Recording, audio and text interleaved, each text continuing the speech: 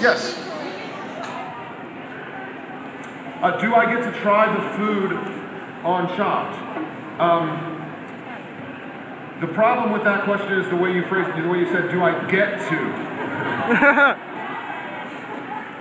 uh, I don't, if you haven't seen uh, our show, Chopped is a, basically a culinary game show where four chefs come in. We give them, there are three rounds, appetizer, entree, and dessert. Each round comes with a basket of mystery ingredients that really don't go together very well. And you have either 20 minutes or 30 minutes, depending on what round it is, to come up with something. Uh, it's unbelievably hard. And because of that, the food is not always good. And you can usually tell. But sometimes it is good. And when somebody, are there any chefs in the crowd? I mean, there's one. You know, it's uh, when somebody can accomplish a delicious dish under those conditions, it's special. It's really cool.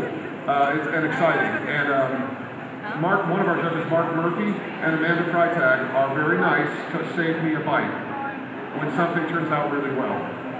And then ultimately, the winner of the show gets gets ten thousand dollars, and and it's all wrapped up in a neat little bow. You don't have to watch 15 episodes to, to, to get the payoff, which I think is one of the nice things about it. This uh, today's today's mystery ingredient. Why? okay, so this is nothing crazy uh, or, or new, but it's it's really almost more of an attitude about a room temperature salad to serve with your barbecue that can that, that I make with whatever happens to be sitting around. In this case, what's sitting around is black beans, just from a can, that have been drained and rinsed because I don't like the liquid that comes in these guys. Uh, black beans, any bean really, is is a terrific product. They are, I find them delicious. They're super cheap. They're packed full of protein. Great way to sort of stretch your budget.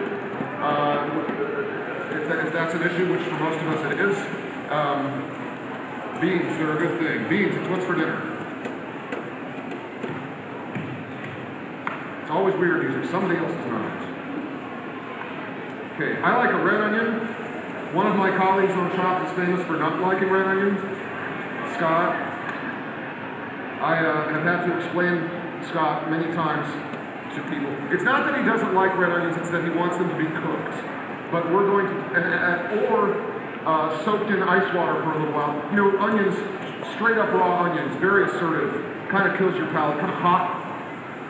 Uh, we don't need to worry about that in this recipe because I'm going to make a vinaigrette. So in effect, the onion will be marinated in vinegar and Scott will be satisfied.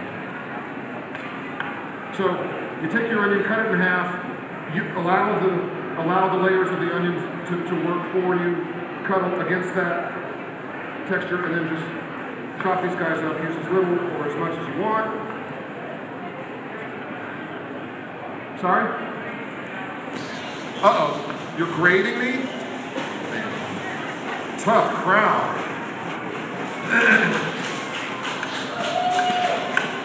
All right. Take your your corn. These these these ears of corn have had about a minute in the microwave, a piece. Just get a little bit of a cook on them, not too much. You guys grow corn up here, or is it too far north? So it's just now really getting good. I kind of like, you know, I love corn on the cob as much as anybody else, but I, when I'm having people over, I kind of like to cut it off just to make it a little easier for them.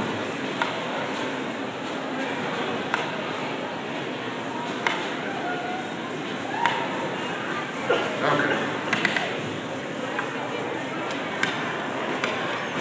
You're looking to have a Wegman. Hey, why don't you guys open a Wegmans in Brooklyn? Our, our, our, our grocery stores are kind of lousy. They're getting better. They've got a ways to go. Um, three years of, I've already chopped the celery. Three years of celery chopped up. I like to chop the leaves too. One of the things grocery stores do that drive me crazy is to get rid of the leaves on celery. Celery leaves have a lot of flavor. Um, this batch of celery had some leaves on it, which is nice. This, this fly attracting material out of here. Flies dig corn, I guess, who knew? And then, so it's whatever you got, or whatever you're growing that, that sounds nice. Uh, here we have some wax beans that I've cut into one inch lengths, some carrot, some tomato, some jalapeno in nice big chunks that are going to really surprise somebody when they bite into them, some garlic, and aren't these great? I guess these are for ice cream. Um, got the logo and everything, right on. Or they're hats for very, very small people. what do you call somebody who lives in Rochester? A Rochesterian? Woo! Oh.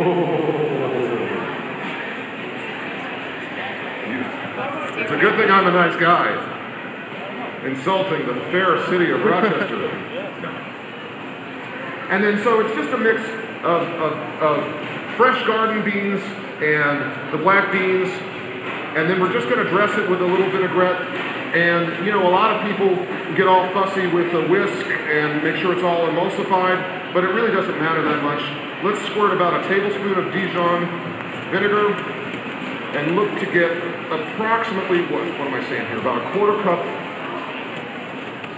red wine vinegar, one of my favorite vinegars. You, um, if you watch Chopped, you'll hear the judges talk all the time about how they want their food to have some acidity in it. And if there's one, it's a really useful thing to learn about your cooking. The importance, vinegar, we grow up thinking that vinegar is something we, we don't like, we don't like the smell of it, but it's so crucial to making food good. You make a pot of chili, at the end, put a couple tablespoons of red wine vinegar in there. It gives you tanginess. It gives you brightness. Thank you. Am I getting, do I look warm? I am warm. Can I tell you? Uh, you get that, you get that tanginess also from uh, lemon juice or lime juice. I'm losing my mic. Among other things. Okay. So uh, acidity really important, and it just that brightness. You, also get acidity from other things, like um, there's acidity in the mustard because there's there's uh, there's also vinegar in there. Um, really. Uh, something to watch while you're cooking, especially if you're making something that, that cooks for a while, like a tomato sauce for pasta. Splash a little vinegar in there in the end. Taste it. Always taste as you go. Taste for, I mean, you know, my, our friend Scott Conant comes up all the time because he likes to, he gets a little angry. Uh, you know how when you cook pasta, the recipe always tells you to use generously salted water, but they don't tell you how generous because they don't know how big your pot is, I guess. Um, a good, this is going to surprise you perhaps, unless you're Italian, in which case you might know. The water that you cook pasta in, take, take your spoon, blow on it, dip it in there, and taste the water. It should be just as salty as chicken soup, which is very salty. Is that true? Very salty. That's the correct way to do it. Uh, now, if you have a heart condition, you may have another approach that you need to take. But uh, if you really want to improve your pasta cooking, try that. Taste the water and, and season it. I'm trying. It could be a half a cup of salt. Um, the issues that we have with sodium have nothing to do with the home cooking that you guys are doing. It's that's it's from processed food, it's from canned food, it's from fast food. Those are the places where we're getting our obesity problem and our sodium problem, not from fresh made salads and pasta at home. Uh, let's see. So one quarter cup red wine vinegar and three quarters of three quarters cups of what Rachael Ray would call EVOO. Extra virgin olive oil. One of the greatest things there is in food. Yum. Yummo, as she says. Where'd my salt go? Here we go. And uh, I mean, I like salt a lot, so I'm. Now the fly. You know what? I put the vinegar on there, and the flies all went away. Okay probably a little more. Anybody have any other questions?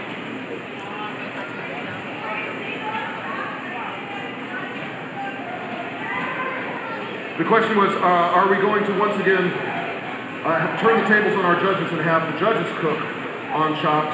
Um, yeah. Yeah, I was there. It was awesome. Um, I, I, got a couple of secrets that I wish I could tell you, but I can't. I will say this. So you've seen the previous episodes where, where our judges actually cooked. You know, I know Anne Burrell has been here before. She's a genius. Uh, she's ferocious. Um, man, I, lo- I love it when the judges cook because you really see the incredible difference in skill between somebody like Robert Irvine, Marcus Samuelsson, Marc Murphy, Alex Guarnaschelli, Anne Burrell, the Iron Chefs, Michael Symon, who I saw two days ago. Uh, I also ran into Nadia G from Bitchin' Kitchen, who's really cool. She's crazy, but she's cool. Those people have a skill level that, uh, that most of us will never understand, myself included. I'm not, you can see, you know, I'm comfortable enough up here, but I'm not fast like that, and I'm not taking my neck and going, you know. Uh, I, I, I, I would love to take six months off and, or a year and go to culinary school, preferably in Tuscany, or perhaps Provence. But uh, Food Network won't leave me alone. So, you know, this, a salad like this is one thing I really love when I'm having a lot of people over is a couple of room temperature salads, things that you can make ahead of time. They only get better if they sit around, um, and you don't have to chill them. Really, you know, I mean, if it's overnight, you do. But for an afternoon, you don't have to chill them. You don't have to heat them. You just put plastic wrap over them to keep these flies out of them, and you're good to go. Um, you could add almost any vegetable to this, and it would be delicious. Now, what have I failed to do so far that I keep telling everybody to always do? Taste. You guys are good. So, and I'm tasting, this is just the kind of, yeah, I'll watch for the flies, exactly. Something buzzing in my mouth. So I'm tasting for acid, tasting for salt.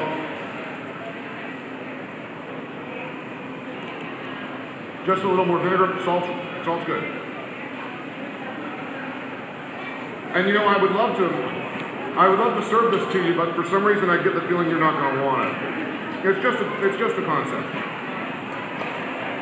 Oh yeah, sure. So you know how people make three bean salads? By the time the beans are in your mouth, you really can't tell the difference between them, but it looks nice. Sorry for talking with my mouth full. So try um, both of these recipes are in the book.